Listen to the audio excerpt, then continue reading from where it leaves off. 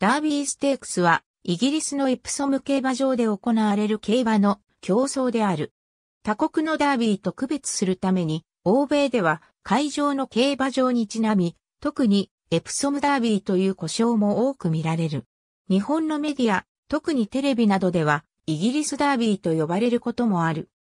1776年にイギリス最古のクラシック競走、セントレジャーステークスの盛大さを見たダービー伯爵、エドワード・スミス・スタンリーと、イギリスジョッキークラブ会長のチャールズ・バンベリー、準男爵、そして、スタンリーの義叔父であるジョン・バーコイン将軍の3人によって、1779年に創設されていたオークスステークスのボバ版として創設された。2021年の第242回より、イギリスのオンライン中古車販売プラットフォーム、コズがスポンサーとなり、正式名称はザ・コズ・ダービーとなる。この競争名の由来については、1780年に創始者のダービー伯爵とバンベリー準男爵の間で、いずれの名を冠するかをコイントスによって決定したとの逸話がある。ダービー伯爵は創始者のバンベリー準男爵を記念して付けたかったが、バンベリー準男爵は、片田舎のレースに自分の名を冠されることを良しとせず、双方譲り合ったために、最後はくじで決めることになったという。出走条件は3歳限定で、繁殖馬の選定のために行われるので馬の出走はできない。1歳時に出走登録を済ませていない馬は、追加登録料を支払わないと出走できない。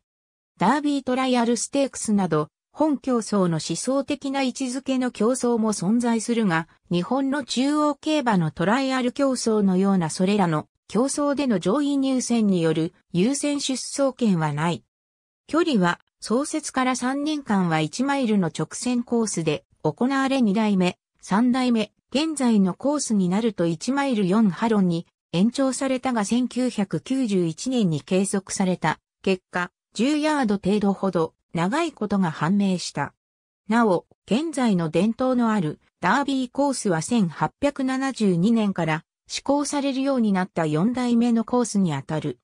ウィンストン・チャーチルがダービー馬のオーナーになることは一国の宰相になることより難しいと述べたと言われているが、これは後世の創作であることが確認されている。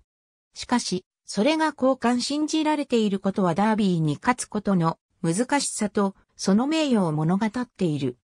なお、イギリスでは第5代ローズベリー伯爵アーチボルド・プリムローズが実際に首相在任期間中に2頭のダービー馬のオーナーになったことがあるが、そのことを自慢するスピーチを行ったところ首相の地位と競馬の一競走の優勝馬の所有者の地位を同列に扱ったことを不見識と非難された。現在、世界各国で本競争を模範としてダービーの名を冠した競争が開催されている。詳しくはダービーを参照。1821年のダービーステークス。ありがとうございます。